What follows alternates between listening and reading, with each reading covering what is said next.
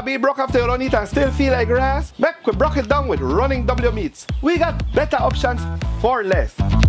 And we have broke it down per serving. The results will blow you away. You'll be surprised. Good eats with running W meat. You still got beans in your fridge? No make it spoil. And better yet, no make it broke your pocket. Make we make one chili beans. Take all the beans and make we warm it up. Know, a separate pot. Get some coconut oil real hot. Add some garlic, onion, straight for your pantry, you know, nothing you know to go to the shop. And then take a nice pack of breakfast sausage from Running W. Beautifully seasoned, open it, remove the casing and just put it in the pot.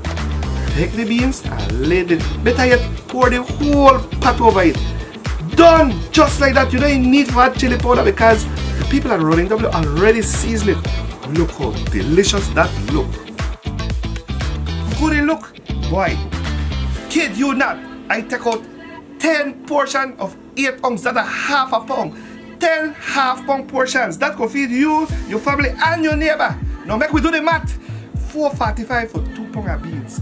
One pack of breakfast sausage is only $6.45. When you add that up, $10.90 for the whole 10 portions. Broke down to $1.09 for a wholesome portion of chili beans. Good eats running W meats. Huh? Ah.